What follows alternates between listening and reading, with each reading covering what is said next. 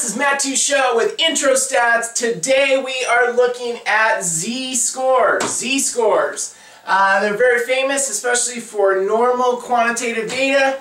Uh, we also use them in a lot of situations, critical values in confidence intervals. We also use them as test statistics, uh, mainly for proportions. So there's a lot of uses of z-scores in statistics. And uh, so I wanted to kind of introduce what is a z-score and sort of how does it work. So the first thing to remember is z-scores really go with normal data. The data does have to be normal for the z-score to be accurate. If you remember last time when we talked about normal quantitative data, we said that the most accurate average or center is the mean and the most accurate spread is the standard deviation. And those two statistics were only accurate if the data was normal or bell-shaped. The, the z-score calculation is based on the mean and standard deviation being accurate. So you want to make sure that uh, your data is normal before you start uh, looking at z-scores. Alright, so just a couple things. Um, we saw last time that the, the a mean of a data set is often denoted as an X with a bar over it. That Usually that symbol just means the mean of a sample data set. Also, we saw that the standard deviation is S, uh, or the sample standard deviation. Occasionally, though, you will see, and we'll kind of get more into this in the next, next unit, but there are other letters that you'll see in stats. Um, this letter right here that looks like a U with a tail is the Greek letter mu, and it's often denoted as a population mean. So if you knew the population mean average, uh, this symbol here is another Greek letter called sigma.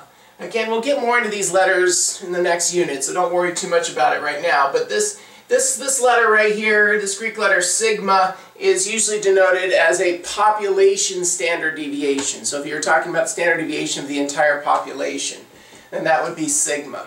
So you'll see these letters sometimes in z-score formulas in stat books. Alright, so what's a z-score? So a z-score basically counts the number of standard deviations above or below the mean. Okay, so it's really used as a sort of a comparison number. If you want to see how you did compared to everybody else, a z-score is one way to go. So um, you take, uh, basically it's calculated uh, by taking the data value, like your, you know, if you, if you ran a marathon, right, you wanted to see how did I do compared to everybody else. Well, you could take your time in the marathon minus the mean average of the all the times in the marathon divided by the standard deviation of all the times in the marathon, and you'd get a z-score. And that z-score would uh, be able to tell you how you did compared to everybody else. That's kind of what we use this for.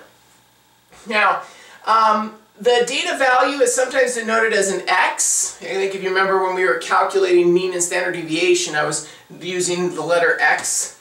Um, x uh, minus the mean. So x is like your marathon time, right? The data value you're, that you're that you're looking at, and then um, the mean is x bar, and s is standard deviation.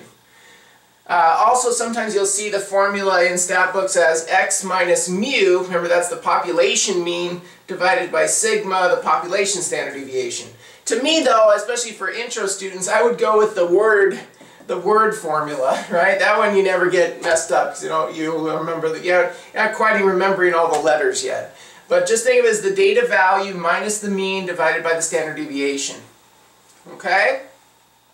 Now, if this z-score actually comes out positive, the data value must have been above the mean. And if the, if the z-score comes out negative, then the data value must be below the mean. So kind of keep in mind that in when you're kind of explaining the z-score, the uh, positive z-score you're going to say above in the sentence, and negative z-scores you're going to say below in the sentence. Okay, so just kind of keep that in mind. So let's look at a quick couple quick examples. So let's suppose we're going to look at uh, IQ tests are normally distributed or normal with a mean of 100 and a standard deviation of 15, right? So a mean of 100 and a standard deviation of 15. So, um, So let's suppose that uh, we look at Maria's IQ, and Maria's IQ came out to be 147. How is that? How does that compare to everybody else that takes an IQ test? Well, we could calculate the z-score for Maria. So all you do is you put in Maria's score, 147, minus the mean, so minus 100, and then divide by 15, right? Divide by 15. So if we did that, 147 minus 100 is, is 47, and 47 divided by 15, you'd get positive 3.1333333. And that's the z-score. Uh, if you notice, you didn't really have to put this little positive sign. I do that. Anytime, um, a lot of times in certain statistics, uh, the positive and negative is really, really important in terms of interpretation. So a lot of times I will make sure to put a little symbol uh, next to it, just reminding myself that it's a positive value or it's a negative value. That's really important with z-scores. Now, um, if you'll notice, I did round it.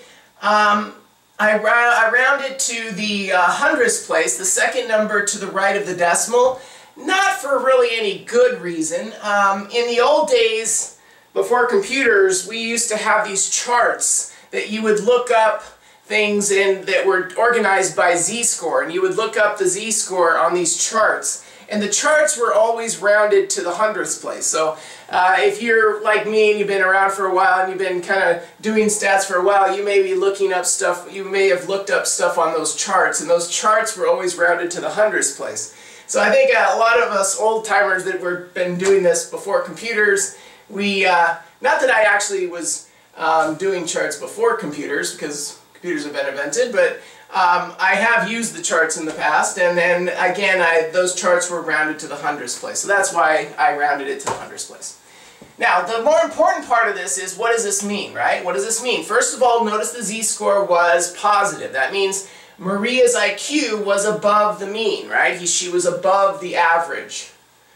So if we look at that, okay, well, Positive means it's above, right? And But remember, a z-score is not a percentage. A z-score is not kilograms, it's not dollars, it's not miles. Uh, a z-score is number of standard deviations. That's why we often call it a standardizing score. It's a way of comparing things when you may not understand. Like, you might not understand the physics involved in, a, in some data that maybe you got, uh, but maybe if, but if you understand in terms of number of standard deviations, then you can still kind of make an, get an idea of what's going on. So Maria's IQ is 3.13 standard deviations above the mean. That would, that would be how I would explain it. Notice I used the word above because my z-score was positive, and obviously Maria's IQ was above the mean. Okay? Now, you can use z-scores to figure out uh, outliers and unusual values. Um, if, you got, if you guys remember when we did our uh, mean average uh, and standard deviation video and normal data, we said that anything that's two standard deviations away from the mean or above uh, is considered um, a high outlier, and anything that's two standard deviations below the mean or less would be considered a low outlier. So if you translate that into a z-score, that means your z-score would have to be greater than or equal to 2 for it to be unusually high. And then z-scores are less than or equal to negative 2 when they're unusually low. Now later we'll see that um, you, this 2 and negative 2, uh, we can get a little more accurate with those. Later on we'll get into critical values and things like that. But right now, just having your head, okay, about 2 or more standard deviations away is unusual. Um, it's also considered significant, so we'll kind of get into that later too. Z-scores are sometimes used for significance measures. If you guys remember, the um, typical values in a normal data are between, uh, are one standard deviation from the mean. So that, if you translate that into a z-score, typical values would have a z-score between negative 1 and positive 1. So let's go back to Maria. Maria's z-score was 3.13, which is definitely higher than 2, right? So that means she was unusually high. Maria has an unusually high IQ, okay? Because her z-score was above 2. Does that make sense? Like you might not understand, like when I looked at 147, I didn't know, is that a lot or is that not a lot? Now I know it's a lot, right? Because the z-score tells me. Let's look at another one. So Rick's IQ was 87. What would be Rick's uh, z-score? Well, again, you start with Rick's value, right? Rick's value was 87. You minus the mean, and then you divide by the standard deviation. So 87 minus 100 is negative 13. Dividing by 15, we get negative 0.86666666. Again, I rounded it to the hundredths place, so I got negative 0.87. Now be careful, this is not a proportion, this is not a percentage, do not convert that to 87%. A z-score is number of standard deviations. It's not actually a percentage or a proportion. You want to be very careful with that. You leave it as negative 0.87. That means that Rick's IQ is 0.87 standard deviations below the mean. Below the mean. Notice again, negative means below. Notice I didn't say negative 0.87 standard deviations below. The negative tells me it's below. The 0.87 tells me how many standard deviations. So better to say it that it's 0.87 standard deviations below the mean. Now where does Rick fall compared to other people? Well, didn't we say any z-score between negative 1 and positive 1 would be considered typical? And this IQ, negative 0.87, is between negative 1 and positive 1 on the number line. So Rick is actually very typical.